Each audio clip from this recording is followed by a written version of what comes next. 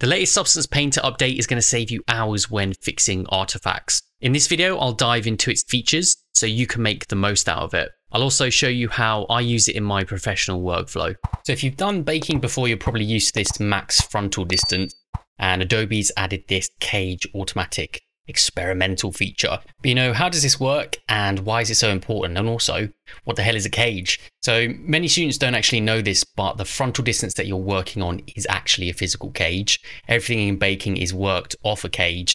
It just depends if it's automated, we put a value in or we actually customize it fully ourselves. And you'll know it's true because even with no cage assigned, we can come up here and change the cage settings even with no file assigned. And you might just say, you know, that's fine. As soon as I see a red piece, I just come to the max frontal distance and expand it and all my problems are solved. But it's a little bit more advanced than that. But then the next issue is if you have things like equipment, you have that cage overlapping and intersecting everywhere, which is going to cause loads of artifacts. The next solution is using a feature called match by mesh name, so you don't get any of those cage overlaps. But even then, we're going to have a couple of issues because the cage will intersect on itself. You look around the straps there, they're kind of like overcasting a little bit. So the first thing to understand is raycast distance. So the mesh is expanding outwards and collecting high poly information. This is fundamentally what the cage is. So mostly it works well, but in different areas around the mesh, we need different distances. It's especially true around the lips.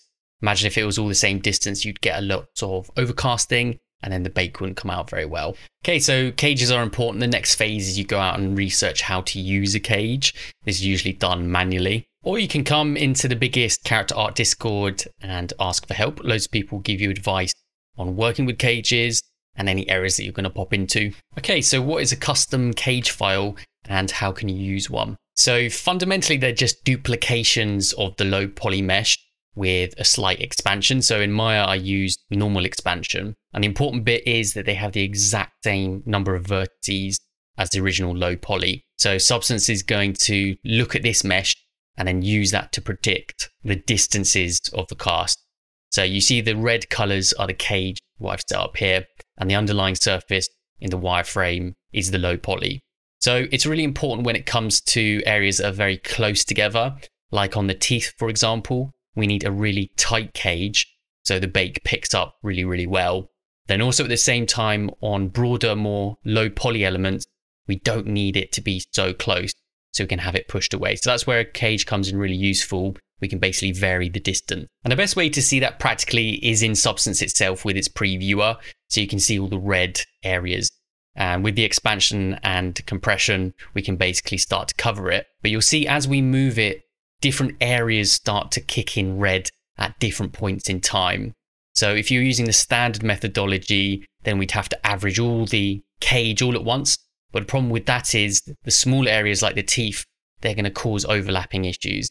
So we really do need a custom cage. You can see it happening on the top of the tongue there, where the red is starting to kick in, but we're getting closer to the teeth topology that I want. So there's no one size solution for everything. We have to create manually that topology ourselves. So now to show you the automation, if you change cage to automatic experimental, it's going to look at the mesh and then try and study it.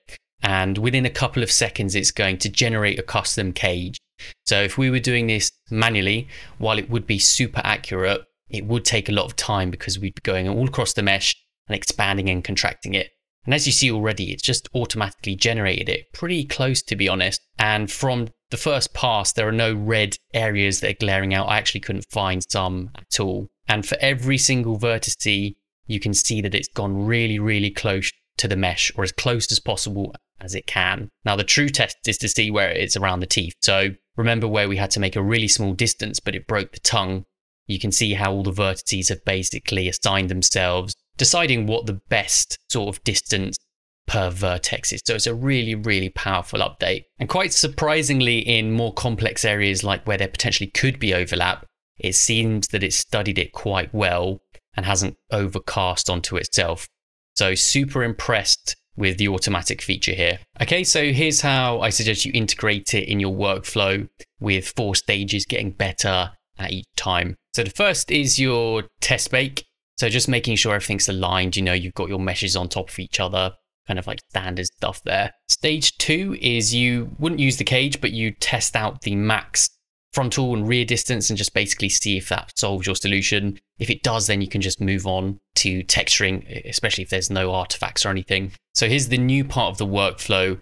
If the raycast doesn't work, we can come in and then auto generate a cage. So come into cage settings and then just set that to automatic. Now, if there are any errors with the auto cage, then we move on to the next stage, which is setting up your own custom cage. Now this is going to have the most accuracy and you'll have full control over every single vertice so it won't cause any issues. And in fact, there's one limitation with auto cages which I would like to see Substance fix. So before going over the limitations, there's definitely something you must master with cages.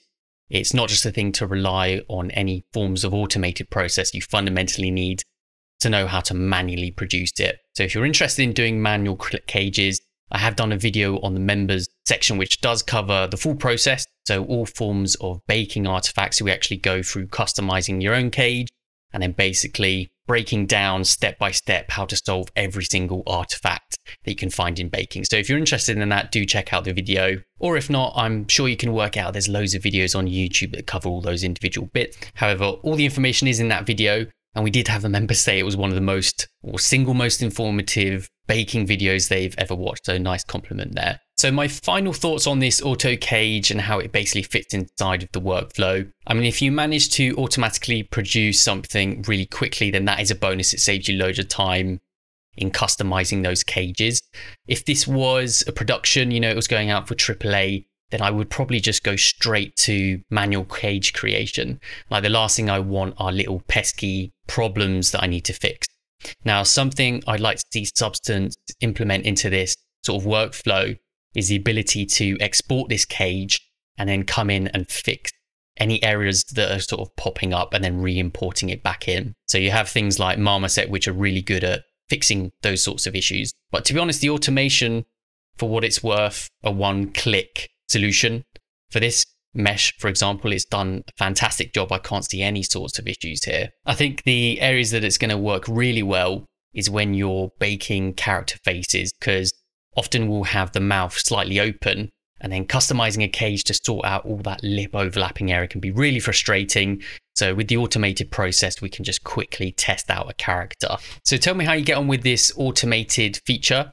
And do remember to not really rely solely on automated processes, really understand the core fundamentals and even try a test cage for yourself. It's going to help you down the line when those automated features don't work. If you are going to watch the ultimate baking videos, I also highly suggest watching the skin detailing. They all come in the same package for people who are joining members, along with questions and answers and video feedback and a private community. So if you are interested in that, click join below. But if not, as I said, there's plenty of free resources on the YouTube channel for you to catch up on. So thanks for watching and I'll catch you on the next one.